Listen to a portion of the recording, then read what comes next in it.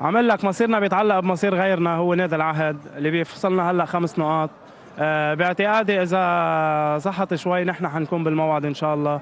آه، مباراة كتير كبيرة اليوم كانت. مباراة مباراة مباراة كبيرة بس للأسف الجمهور الجمهور منه منه قد قد المباراة. أنا برأيي نجمي أنصار مباراة ديربي أكبر من هيدا الجمهور. للأسف ما قدرنا يتعاطوا مع يتعاطوا مع هيدا.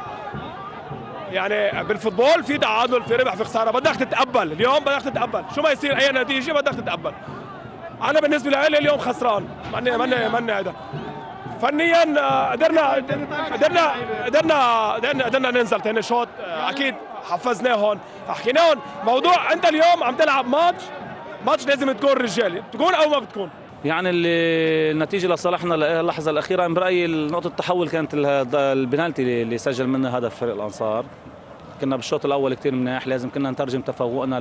على الأقل نبقى 2-0 أو نسجل هدف ثالث بعد ال...